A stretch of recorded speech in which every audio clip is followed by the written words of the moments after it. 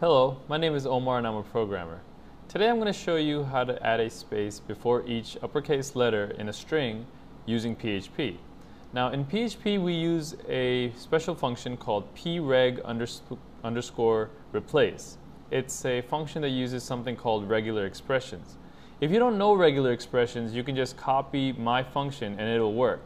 But it's a good idea to learn regular expressions. It can come in handy a lot.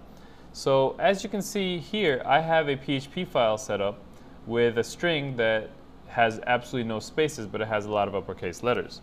So the way to add uh, a space between each uppercase letter, or before each uppercase letter, is to use this following pro, uh, function that I've typed out. Now, we're using preg replace, like I said, and this is the regular expression. Now, I'm not going to get into what this is, but you can research it on your own.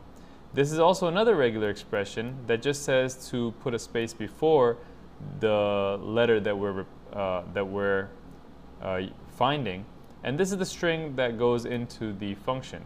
And your, your other string words will be the string with uh, spaces before each capital letter. I'm Omar and I hope you found my video informative. Have a good day.